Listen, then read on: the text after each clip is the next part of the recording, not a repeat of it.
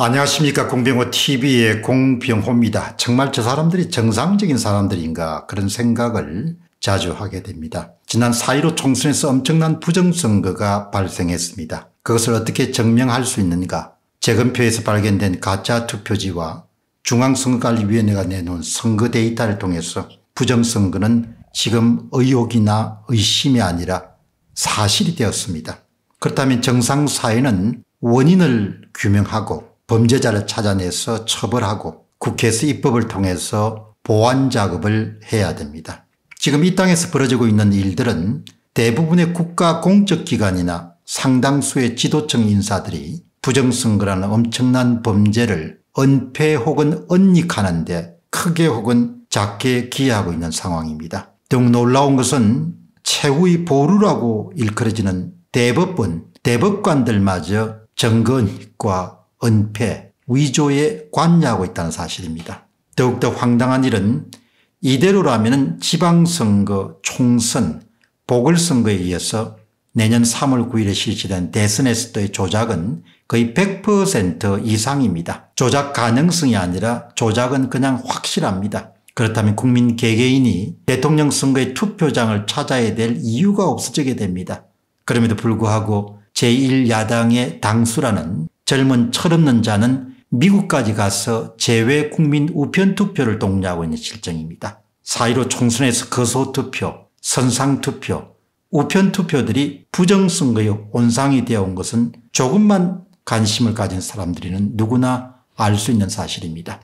유력 야당 경선 후보들은 단 한 사람을 빼고 고군분투하는 것을 제외하면 대부분이 침묵으로 일관하고 있습니다. 이것은 나라가 정말 미치지 않고서는 일어날 수 없는 일입니다. 정말 나라가 망하지 않고서는 결코 일어날 수 없는 일을 우리가 두 눈으로 목도하고 있습니다. 참다 못한 황교안 후보가 한마디 하고 나섰습니다. 그런 자신의 SNS에 부정선거가 저 황교안만의 문제입니까? 부정선거가 저 황교안만의 문제입니까? 어제 저녁 토론회 많이 보셨을 것입니다. 여러분께서도 아쉬움이 있으시겠지만 저는 특히 그렇습니다. 요즘 오징어 게임 인기라더니 TV 토론에서 그림자 게임을 하는 것 같습니다. 제가 정말 두려운가 봅니다.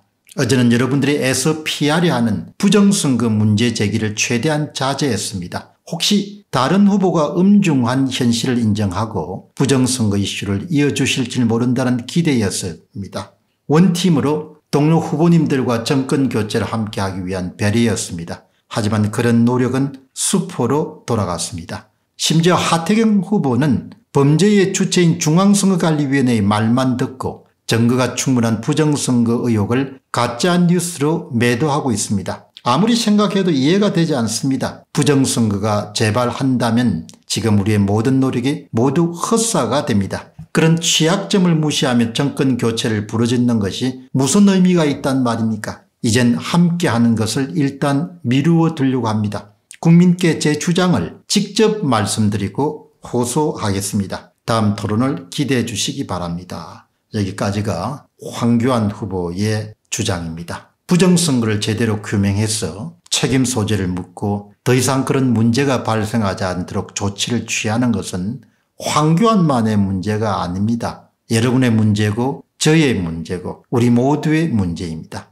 근데 왜 그렇게 다들 그 문제를 피하기 위해서 필사적으로 노력하는지 안간힘을 쓰는지 이해하기가 힘듭니다. 불법과 불의에 야당 후보들조차 침묵하면 도대체 이 나라는 어떻게 되는 것입니까? 그런데 국민의힘 내부에서 진짜 미친 짓이 추진되고 있는 모양입니다. 그 미친 이야기를 민경욱 전 의원이 자신의 SNS에서 이렇게 전합니다. 자유민주주의를 지향하는 정당이라면 평소에도 부정선거를 예방하고 부정선거 책동자들 공격하는 일에 앞장서야 됩니다. 그런데 부정선거의 증거가 쏟아져 나오는 와중에 직접적인 이해 당사자인 국민의힘의 한교안 전 대표와 안상수 후보 등 부정선거 진상규명을 주장하는 후보들의 입을 막기 위해서 이들을 비난하는 의용 성명을 내려 하고 있습니다. 만약에 그럴 경우에 우리 애국 국민들의 부정선거에 대한 울분은 민주당에 앞서서 국힘당에 먼저 천둥같이 내려치게 될 것임을 엄중하게 경고합니다. 그 같은 시대 역정적인 행동에 가담하는 정치인들은 공정한 대선 경선을 방해하는 반동 세력으로서 반드시 애국 국민들의 준엄한 심판을 받게 될 것임을 엄중하게 경고합니다. 그동안 정말 국민의 힘에 대한 월빙 정당이란 그런 비난이 아주 많았습니다. 지난해에 제가 공천관리위원장으로 들어갔을 때도 정말 투쟁할 수 있는 그런 야당, 싸울 수 있는 야당 그런 인물들을 천거하는 그런 노력을 했습니다만 결국은 무산되고 말았습니다.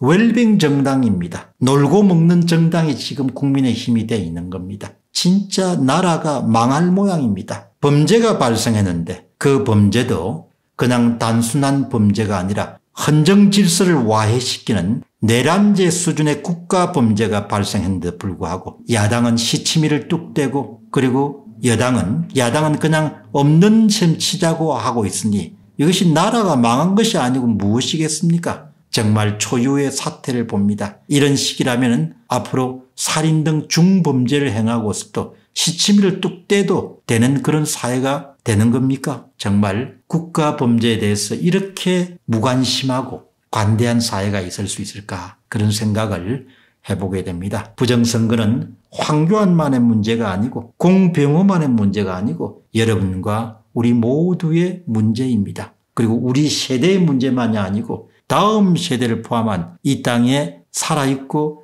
또 살아가야 될 모든 세대를 아우르는 대단히 중대한 더 이상 말과 글로 표현할 수 없을 만큼 그렇게 중요한 사안입니다. 여러분의 관심을 촉구합니다. 공병호 TV의 공병호였습니다. 감사합니다.